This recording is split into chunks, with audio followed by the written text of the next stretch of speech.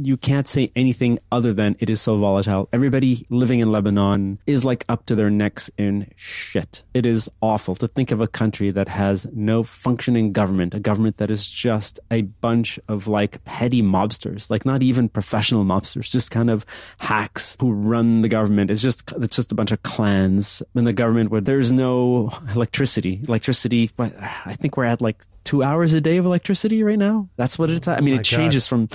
No, Vish, you don't understand. Like since my birth, there's never been 24 hour electricity in Lebanon. Do you understand that? Like I'm Wow. 46. Lebanon has never seen 24 fucking hours of electricity. We don't have drinking water. Like you buy drinking water to drink water that won't kill you. You have to buy it. A hmm. truck has to come. It has to dump it, and you have to that. And, and even that is like they just it's cheated all the time. It's just a very dysfunctional country. It's a country that's just. It, there's just no fixing it.